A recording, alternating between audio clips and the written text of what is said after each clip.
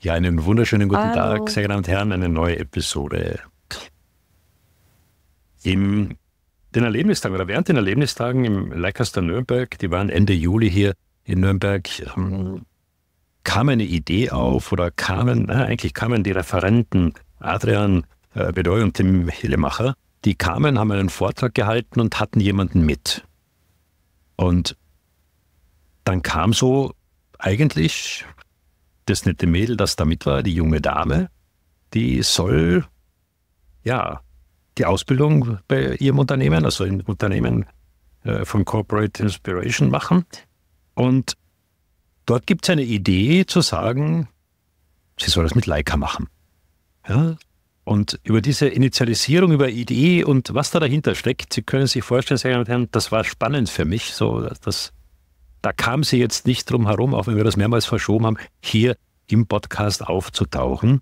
Äh, lassen Sie mich begrüßen, begrüßen Lisha Höser. Servus, schön, dass du doch noch Zeit gefunden hast, bei all diesem Lernen, Arbeiten und noch Leica hier mal darüber zu reden, um was es denn gleich Hi, gehen wird. Ja, danke schön, dass du mit mir quatschen möchtest darüber. Ist Äh, es gibt nämlich ein Projekt und das heißt Lisha lernt Leica. yes. Also LLL oder L hoch 3 oder irgendwas in der Art. Ähm, vielleicht ganz kurz zu dir. Du arbeitest bei Corporate Inspiration. Genau. Das ist eine Art Werbeagentur, eine große, wenn ich das mit meinen Worten zusammenfassen kann, aber du kannst es sicher besser Also es ist beschreiben. quasi eine Werbeagentur, aber auch eine Produktionsfirma. Wir machen so ein bisschen beides. Äh, meine Ausbildung ist Mediengestaltung und ich gerade mache, ist Mediengestaltung, Bild und Ton. Also eigentlich eher Bewegtbild und Film. Aber dadurch, dass wir halt alles machen, machen wir auch viel Eventfotografie und alles Mögliche. Und deswegen habe ich auch dann im Bereich Fotografie schon ein bisschen meine Erfahrung gesammelt und von Film, Fotoproduktion hin zu, wie gesagt, kleine Events, irgendwie Mitarbeitenden-Events für Vodafone oder auch größere Events, Produktvorstellungen von Lancôme, Yves Saint Laurent etc. Und ja, das sind so die Dinge, die ich mache. Das klingt Ist spannend. auch. Und jetzt hast du das große Glück, ähm, vielleicht muss man deinen, glaub Chef, wenn man das jetzt so sehen will, äh, Adrian Genau. Bedoy, der war bei mir im Podcast, äh, ist, also nachdem ich weiß, was er im Vortrag gehalten hat, ich dachte, er ist Künstler, aber da ist er viel mehr. Äh, auf jeden Fall war er am 12.01. diesen Jahres im Podcast für all diejenigen, die das nachhören möchten. Und dann gibt es einen zweiten, einen Arbeitskollegen, äh, glaube ich, von der Stufe her, Tim Hillemacher. Und Tim war auch bei mir im Podcast am 13.12. letzten Jahres. Äh, da, kann man, da kann man sich die beiden mal anhören. Und das sind ja, naja, man kann schon auch sagen, Fanboys. Äh, Tim war, glaube ich, der, der gesagt hat, der hat die Kamera dann am Nachtkästchen stehen, wenn er schlafen geht. Äh, jetzt hat er Nachwuchs, jetzt hoffe ich, dass nicht die Kamera das Wichtigere ist, sondern eher der Nachwuchs. Ähm, aber du hast also den großen Vorteil, dass du da ein, ein Repertoire von Kameras, von Equipment natürlich Mhm. hast. Ähm, und warum kommt dann eine junge Dame, wenn ich dich so nennen darf, ich hoffe, das verzeiht man mir und nimmt mir nicht übel, die, wenn man Instagram anschaut, ja, die, die lass mich sagen, typischen Bilder macht, also nicht unbedingt die künstlerischen Ergebnisse darstellt, sondern Instagram nutzt, wie man Instagram nutzt. Ja, also, Ja, also selbst, mein damit Instagram ist, glaube ich, eher repräsentativ für mich als Person. Und jetzt Ja. äh, die Bilder, die ich jetzt zum Beispiel mit der Leica gemacht habe oder die Bilder, die ich jetzt auch mal so privat für meinen Freund mache. Ich fotografiere primär eigentlich analog mit irgendwelchen Analogkameras, die ich von eBay habe. Oder jetzt habe ich auch eine im Büro im Keller gefunden. Und die sind da eher nicht so zu finden. Irgendwie äh, dieses nach draußen tragen, an dem Punkt bin ich auf jeden Fall noch nicht. Ich mache das gerade erstmal eher noch für mich selber. Ja, ist ja ein guter Anfang. Ähm, warum? Fotografie, Mediengestaltung. Ja, Agentur ist schon okay, aber äh, du, du hast analog schon vor deiner Ausbildung fotografiert, Mhm. hast du erzählt. Das ist ja nicht unbedingt das klassische Hobby. Oh, ich glaube tatsächlich jetzt gerade so in Großstädten, wenn man irgendwie in Köln oder Nähe Düsseldorf oder so, ähm, also die Firma, für die ich, also Corporate Inspiration liegt ja in Düsseldorf, ich wohne in Köln ich komme auch aus dem Vorort von Düsseldorf. Und ich glaube schon, dass das auch so ein bisschen trendbedingt war, weil sie in meinem Umfeld halt angefangen haben, zu analog zu fotografieren. Ähm, ein Vortrag, den ich auch bei den Leica Days äh, gehört habe, ich weiß nicht mehr von wem der war, doch weiß ich, wie hieß er nochmal? Der, ähm, egal. Du weißt, was ich, weißt, was ich meine, glaube ich. Ähm, okay. Nein, ähm, wo es, wo, warum ich glaube, warum analog halt dann so beliebt war, ist so ein bisschen dieses melancholische, sieht aus wie ein altes Bild. Irgendwie man fängt ein Moment an, wo man dann halt nicht nochmal gucken kann, wo dann auch hier kommen wir zur Leica, äh, man es auch ein bisschen mit der Leica M vielleicht dann auch vergleichen kann, weil das hat nicht so die mit dem Handy mal 10.000 Fotos und bla, sondern man muss ja auch wirklich sich dann die Zeit nehmen. Also ist das bei der Analogfotografie auch. Ich glaube, dass ich das einmal aus dem Trend heraus ein bisschen gemacht habe, weil ich irgendwie das, also ich habe noch vorher angefangen mit Einwegkameras. Kannst du die von DM? Diese Einweg-Sechswerfkameras. So ganz so jung bin ich auch nicht mehr.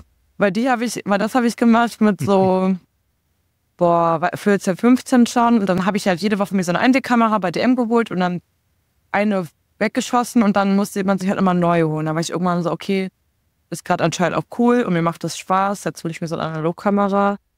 Und medienaffin war ich schon immer. Also ich wollte, als ich ganz klein war, Schauspielerin werden, dann wollte ich Moderatorin werden, dann wollte ich Journalistin werden, dann Producerin und irgendwie, es ist immer die Medienbranche gewesen und dann auch meistens aber eigentlich eher Film. Ähm, und ja, dann habe ich angefangen zu studieren, ähm, wollte, habe kurz überlegt, ob ich Oberbeleuchterin machen möchte vielleicht und jetzt irgendwie ja, Mediengestaltung geworden und dazu gehört dann anscheinend auch Fotografie, was ich auch mega cool finde. Und tatsächlich macht mir das Fotografieren auch ein bisschen mehr Spaß als das Filmen. Also mir macht das mehr Spaß, das Endprodukt beim Film, vom Film zu sehen, muss ich sagen. Und auch diese ähm, komplette Vorbereitung, das Umsetzen und wie es dann am Ende aussieht. Aber so eine Kamera in der Hand zu haben und dann irgendwie was zu sehen, zu denken, boah, das sieht so cool aus, ich möchte das jetzt irgendwie einfangen und dann halt abzudrücken und dann das so zu sehen, ist irgendwie ein geileres Gefühl, muss ich zugeben. Spricht das dann nicht für die digitale Fotografie, dass du sagst, du drückst ab und du siehst es? Äh, denn du sprichst gerade von analog oder hast von analog mhm. gesprochen. Also wenn du die Box bei dem DM geholt hast, wie ich das gemacht habe, da gab es oft keine Alternativen. Ne? Also das war nicht ja, Jux und Spaß, sondern das war halt so. Äh, irgendeine Kodak-Box, die man also wir reden jetzt nicht von der, die beim Autoset irgendwo dabei ist, um Unfall zu dokumentieren, was nicht, ob es das noch gibt. Aber äh, spricht das dieses, es macht Spaß und das dann anzuschauen, nicht eher dann für die digitale, schnelllebigere Welt? Also ich finde das halt schön, dann auch irgendwie darauf warten zu müssen. Teilweise, ich habe bestimmt noch fünf, sechs Filme zu Hause, weil ich immer vergesse, die abzugeben. Und manchmal sind das Filme, die sind zwei, drei Jahre alt oder ein paar Monate alt und dann sehe ich die und denke so, ach krass, das war ja da. Also ich finde das schön, dass, ich quasi die Möglichkeit habe, irgendwie jetzt mit meinem Handy, analog, aber auch digital zu fotografieren. Das hat ja auch alles immer so ein bisschen seinen eigenen Flair, seinen eigenen Stil, was ich auch cool finde. Zum Beispiel, jetzt sind ja gerade diese Digitalkameras wieder cool. Und die sehen ja nochmal vom Look ganz anders aus als jetzt eine Leica, aber ganz anders als eine Canon und ganz anders als ein Analogbild oder ein Handyfoto. Und das finde ich auch irgendwie schön, dass man halt sich überlegen kann, okay, ist das jetzt ein Moment, den ich irgendwie melancholischen Erinnerungen haben möchte, mache ich den jetzt mit einer Analogkamera. Oder ich finde, wie gesagt, die Leica hat auch irgendwie nochmal so ein bisschen was Weicheres als jetzt die meisten Digitalkameras. Oder ähm, möchte ich das jetzt einfach, möchte ich ein cooles Bild für mein Insta-Profil oder für irgendwas anderes? Oder will ich das nur einfach kurz, dass ich das mal eben schnell wieder habe auf dem Handy haben? Also ich finde, das ist sehr situationsabhängig.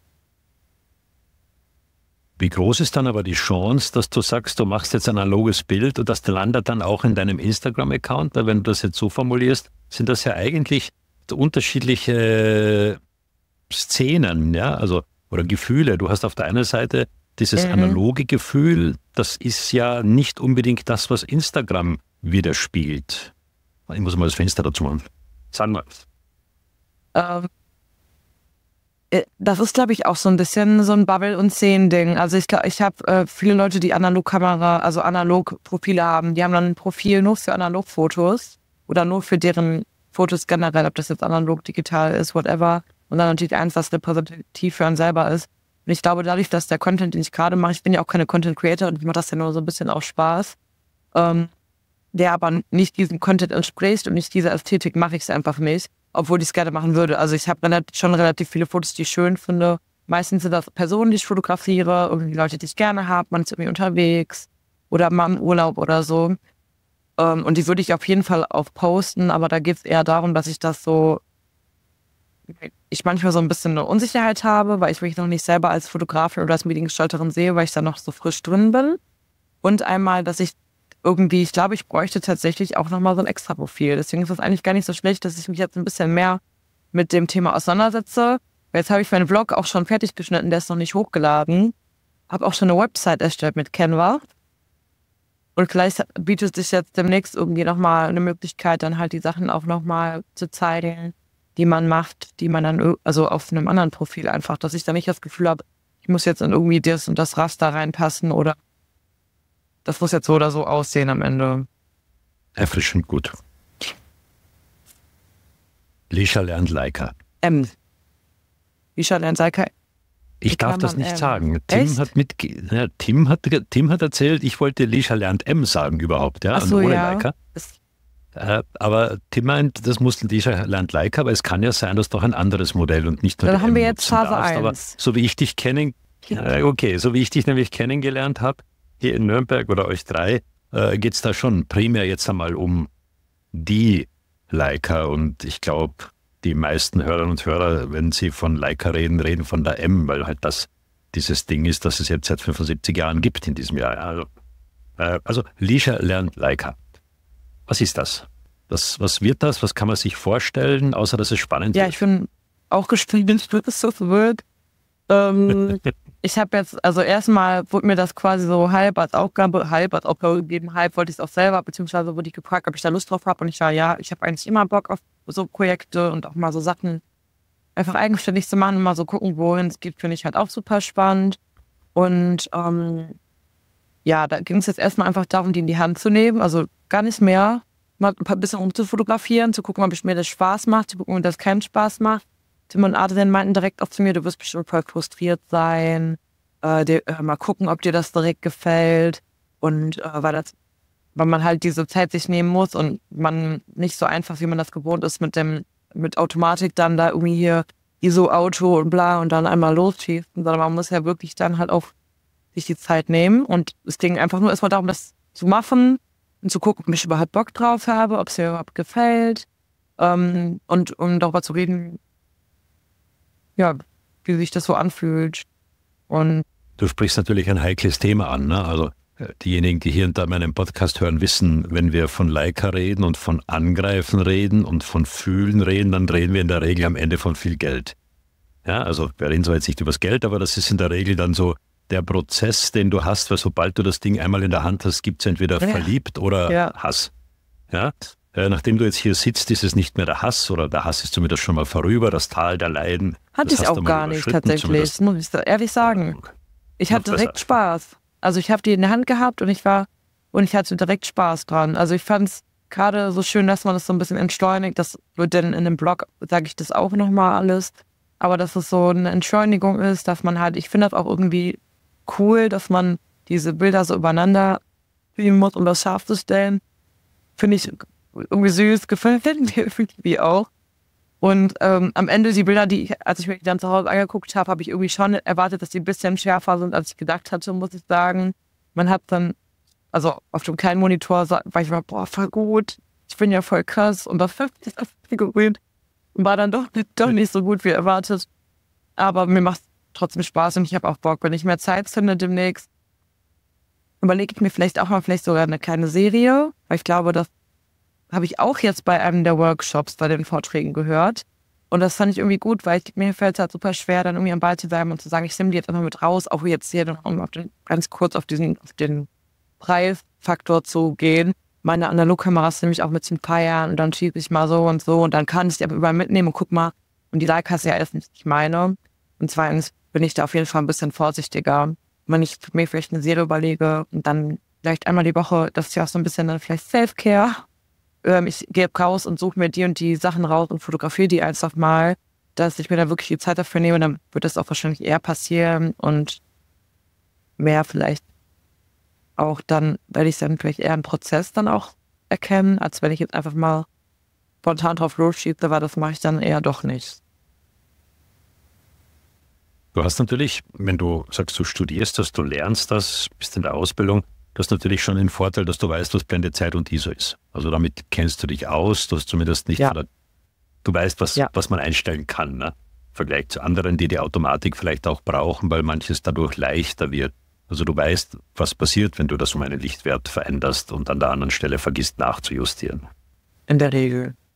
Ist, ja, na, ja ähm, wenn du dieses Ding in die Hand nimmst, du hast jetzt in, in Nürnberg damit fotografiert, du bist zumindest die meiste Zeit ja. damit herumgelaufen und hast ja auch die meiste Zeit in der Hand gehabt und ich habe nur gesehen, Tim hat dir immer wieder irgendein Objektiv gegeben oder du gewollt oder wie auch immer. Äh, was wiegt mehr? Siehst du es und sagst, du fotografierst oder nimmst du die Kamera und sagst, jetzt sehe ich es, weil ich die Kamera in der Hand habe? Denn wenn, wenn man sagt, äh, Lisha lernt Leica, dann, dann ist das ja, du hast ja zwei Möglichkeiten jetzt in der Fotografie und es ist gerade in, in, diesen ganzen Internetwelten so diese Diskussion gerade entbrannt, zumindest in meiner Blase oder in meinen benachbarten Blasen. So, wie wichtig ist jetzt die Kamera? Wir sollten uns wieder zurückziehen auf die Ergebnisse die bei dir vielleicht nicht einmal scharf geworden sind im ersten Moment. Ne? Wobei, wir sagen dann als Leica-Fotografen, das ist dann Kunst. So, so äh, das kannst jemand mit Autofokus aber nicht erzählen. Äh, aber zurück, das heißt, wie wichtig ist es im Moment gerade, wo du das lernst, du dieses System kennenlernst oder die, die, die Marke kennenlernst, äh, wie wichtig ist das Ergebnis des Bildes im Moment überhaupt für dich? Oder schiebst du das gerade ein bisschen zurück, weil es Spaß macht, das Ding zu bedienen? Ja, also wenn das Ding sind jetzt irgendwie, also kommt halt drauf an, aber wenn, also es passiert natürlich einmal, dass ich irgendwie ein Motiv sehe und denke, boah, das ist so ästhetisch, das möchte ich jetzt irgendwie einfangen oder Moment mit meinen Freunden oder mit Leuten, die ich gerne habe oder auch die ich nicht gerne habe, wo ich sage, okay, das ist gerade irgendwie cool, irgendwie äh, möchte ich, wie gesagt, das dann einfangen, dann fotografiere ich und dann freue ich mich schon, wenn das ein einigermaßen scharfes Bild ist oder man wenigstens erkennt, was drauf ist, damit ich halt auch weiß, was das war. ähm, also um, um nochmal auf die erste Frage zurückzukommen. Aber ich finde aber auch total oft, dass ich jetzt irgendwo auf einer Straße bin oder irgendwo auf einem Platz und ich denke, boah, jetzt gerade, ich bin voll überstimuliert, hier sind überall Leute, ich weiß gar nicht, was ich fotografieren soll. Wenn man dann so durch die Kamera durchguckt, hat man ja direkt dieses kleine Fenster und dann guckt man und dann denkt man so, ah, oh, das ist ja doch was, was ganz cool aussieht. Oder der Rahmen schafft dann ja das Bild. Innerhalb dieses Rahmens wird dann eine Geschichte erzählt oder passiert dann irgendwas, das dann halt spannend wird. Und wenn das jetzt nicht mega bombenscharf ist und nicht direkt in dem perfekten Ausschnitt ist, ist es okay, weil dafür mache ich das ja, um das zu lernen. Den Ausschnitt kann man anpassen oder dann auch nochmal ein bisschen so nachjustieren, ein paar Dinge. Aber ich bin, habe schon gerne dann, wenn ich was mache, mache ich es schon gern richtig. Wenn du jetzt von dem Rahmen sprichst, wo du durchschaust, äh, ist das etwas, wo du mit deiner ich glaube, Canon war das, wo du vorher fotografiert hast, die gleichen Gefühle hast oder macht da doch Leica oder die M etwas anderes mit dir? Provokante Frage im Leica Enthusiast Podcast, ich weiß, und wir werden geköpft werden für die Frage. Aber ich will es hören. Das ist auch eine Antwort. Also die, äh, ich muss sagen, es ist ähnlich. Also weil, was, woran ich total Spaß habe, ist so eine, die, die Canon mit den super fetten Teleobjektiven und dann guckt man da so bis nach ganz nach und denkt mir so, boah, wie cool ist das, dass ich jetzt hier stehe und da, das, also irgendwie finde ich das spannend. Aber bei der Leica mag ich wirklich super gerne durch die Suche umgucken, weil ich finde das so cool, dass ich finde das irgendwie eine coole Art und Weise, auf den kurz was aufzustellen. Ähm, aber vom Gefühl her ist es schon trotzdem was ähnlich, weil es ähnlich weil es halt einen Rahmen bildet. Aber ich muss sagen, wenn ich jetzt auf der Leica mir die Bilder angucke, weil die Leica auch einfach viel ästhetischer ist und mit viel mehr Liebe als so eine Canon, finde ich. Wenn ich mir da dann die Bilder auf dem Bildschirm angucke, ist das finde ich es viel schöner und viel interessanter und spannender, als wenn ich es auf dem Kennbildschirm mache.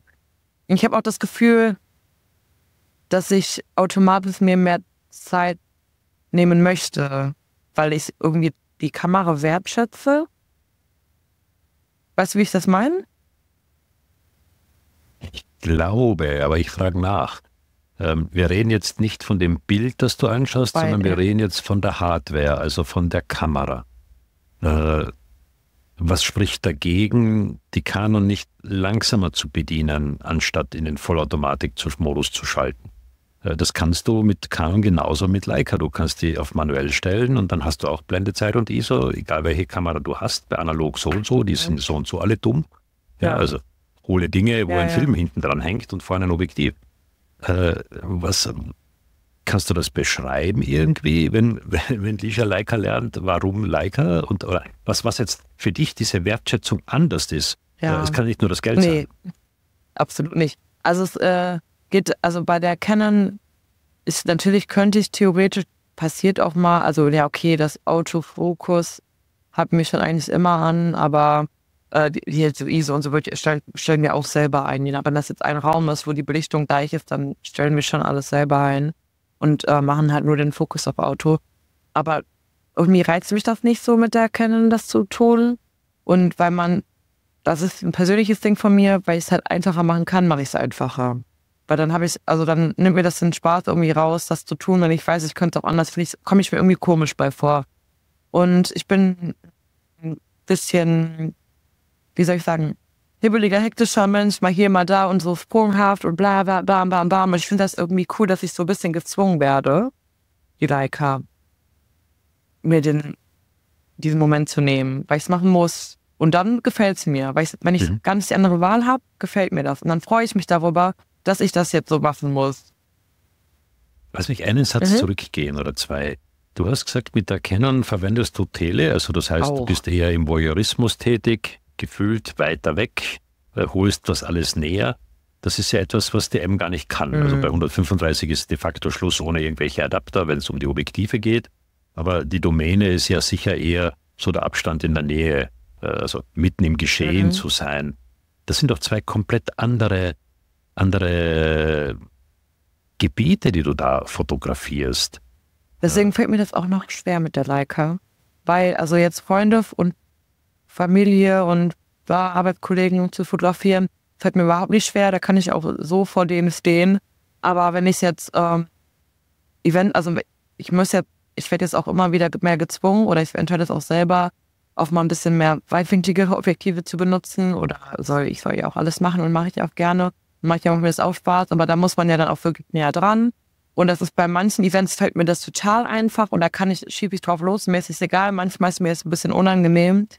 Und ähm, das, glaube ich, dann, der, ja, jetzt habe ich schon einen Punkt vergessen. Der, die Frage ist, wenn du mit Canon, ja. also mit Tele oder nicht mit Tele fotografierst, äh, warum, warum oder, oder was das, warum das an der Kamera liegt. Ja, du könntest doch an die, an die Canon genauso ein, ein 35er, ein 28er. Ach so, ja, mache ich ja auch. Äh, Aber mir gefällt das irgendwie, mir gefällt das irgendwie einfach, das weiß ich nicht. Kann ich dir nicht sagen, das ist ein Gefühlsding. Ey, keine okay. Ahnung. Lass mal das. Wir, wir, lassen das so. Du hast zwischendurch gesagt, du redest von Vlog, Blog, was immer. Was machst du jetzt, wenn wir jetzt sagen, Lisha lernt Leica, da wird ja jetzt was draus entstehen. Also nicht nur wir zwei werden reden und wir haben im Vorgespräch schon erzählt, wir werden schauen, dass wir das in irgendeiner Art und Weise, nein, nicht wir werden schauen, ich werde schauen und deinen Weg verfolgen und dich zwischendurch äh, einmal hierher bitten zum Gespräch äh, um, damit du mal erzählst, wie weit du denn gekommen bist, ja, was, was die nächsten Schritte waren. Äh, aber gibt es da sowas wie so eine Art, na, Redaktionsplan ist vielleicht übertrieben, aber gibt es ein, so einen Projektplan? So Lisha lernt Leica äh, beginnt in Nürnberg an den Erlebnistagen einmal so eine Community kennenzulernen, um zu wissen, da gibt es mehr wie nur zwei, die das machen, so Verrückte. Äh, dann kommt da dazu, dass man den Podcast macht, dann kommt dazu, dass du eine Aufgabe kriegst, dann kommt dazu, dass du deine erste Ausstellung machen darfst, dann kommt dazu, dass du eine eigene Kamera kriegst, dann kommt dazu, ich weiß ja nicht, ne? aber äh, was, hast du da so ein hinter dir an der Wand so versteckt, äh, umgedrehten Zettel, wo dann so, so die nächsten fünf Jahre drauf sind, was werde ich jetzt tun, was, ja, so, so, ja, sowas in der Art. Gibt sowas? Also so ganz grob, ohne dass wir dich festnageln dran? Ähm, also ich bin jetzt gerade sehr persönlich sehr eingespannt, deswegen habe ich gerade noch nicht so die Zeit dafür. Aber ich hätte total Lust an mir zu arbeiten und halt auch ein Projekt mal wirklich von Anfang bis Ende vielleicht auch mal durchzuziehen. Den Blog von den Nürnberg Leica Days habe ich auch schon fertig. Und da geht es aber das ist ein, ist ein Video, genau, oder? Das Vlog du da machst, oder ist das Text? Genau, ich habe auch, okay. ein, wie gesagt, so eine kleine Website mit Canva einfach erstellt, da so ein grob mal reingeschrieben, was ich so mache und ähm, weiß auch nicht, wie viele Vlogs ich dann noch zeitlich schaffe. Habe bis jetzt aber wirklich nur das und auch keinen neuen Content vom Neuen ausprobieren. Hier am, im Oktober um. Möchte mir die dann nochmal vielleicht schnappen, die Leica von Adrian, und überlegt dann, wie ich gerade gesagt habe, mir vielleicht mal irgendwie eine Serie, die man machen kann oder irgendein Motiv, auf das ich Bock habe. Und dann werde ich gucken, dass ich mir feste Termine in meinen Kalender eintrage, wo ich dann halt einfach fotografiere, wo ich die dann auch wirklich die Hand nehme und rausgehe. Und äh, ja, dann vielleicht mal so alle vier bis sechs Monate ein Update gebe, ob das jetzt über ein Blog ist oder ein Blog oder ein Podcast-Interview. Äh, sehen wir dann. Aber es ist so ein bisschen Go with the Flow. Ich möchte das mal, also lernen, aber ich möchte auch das machen, was mir Spaß macht und zu der Zeitpunkt, wo es mir Spaß macht, will ich nicht das zu zwingen. Und deswegen schauen wir mal, wo der Weg hinführt. Lisha, das passt nicht. Auf der einen Seite möchtest du Go with the Flow machen, schauen, wo der Weg hingeht. Auf der anderen Seite tragst du dir am Kalender fixe Termine ein. Ich muss heute fotografieren, so wie ich muss bei der Versicherung anrufen, um die Polizei zu verlängern. Das sind zwei Dinge, die für mich an der Stelle so überhaupt nicht jetzt zusammenpassen. Denn du sprichst gerade von den Gefühlen, von dem Go with ja. the Flow. Und, und, das ist nichts, was du dir im Kalender alle 14 Tage schreibst. Heute muss ich drei Bilder nee, machen. Nee, deswegen äh, möchte ich das ja, mich da auch nicht, möchte ich mich da auch nicht so sehr festnageln. Also ich will jetzt auch nicht sagen, wenn ich ja die Kamera in der Hand habe und rausgemerkt, okay, das wird nichts. Oder, also beziehungsweise da gibt nicht, mit dem Go with the Flow meine ich gar nicht unbedingt das Fotografieren selber, sondern auch so ein bisschen das, wie viel Zeit ich mir jetzt nehme, darüber zu sprechen und zu schreiben. Ähm, oder es ist ja auch mhm. immer noch mal so ein bisschen, wie geht's, habe ich gerade persönlich die Zeit oder die Energie dazu, das jetzt auch noch rauszutragen, weil das ja auch noch mal so ein nächster Schritt ist. Ähm, wenn ich jetzt die Kamera in die Hand nehme und merke, okay, das wird, das wird hier heute nichts, dann lasse ich das. Und wenn ich die Kamera in die Hand nehme und das viel Spaß macht, macht das macht es mir halt Spaß. Aber ich, ich persönlich brauche fest Dinge, damit ich Dinge überhaupt erst versuche. Das ist einfach, einfach meine Art und Weise, wie ich meine Struktur wie mein Gehirn funktioniert. Und deswegen ist das die Herangehensweise. Und das kann auch mal gerne ambivalent sein. Dann gehen wir her und hätten gern jeden Tag eine Stunde Fotografie auf deinem Kalender stehen. Wie viel Zeit hast du dir genommen, um mit dieser Leica so befreundet zu werden, dass du sie auch haben willst? Oder ist der Schritt schon vorbei? Äh, der ist noch nicht da, der Schritt. Also ich habe Bock, ich habe voll Bock, ich hab, bin auch froh, dass ich die habe, aber jetzt gerade habe ich noch zu viele andere Sachen im Kopf und das kommt noch. Aber hm. ist, ich kann es ja nicht sagen.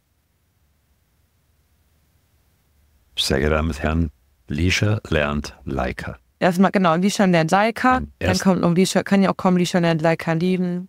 Lisha lernt Leica und hat keinen Bock mehr, kann ja auch passieren. Wir gucken mal. Jetzt ich auf, bin ich auf jeden Fall noch motiviert und wenn ich mehr Zeit habe, habe ich auch Lust zum Fotografieren. Ähm, und die Leica ist jetzt halt einfach, dadurch, dass es was Neues ist, was ich davor auch nicht auf dem Schirm hatte, oft gehört habe, aber nicht auf dem Schirm hatte, ist es doch einfach super spannend. Und wie gesagt, ich mag die Ästhetik total. Also die Ästhetik der Bilder und die Ästhetik der Kamera an sich.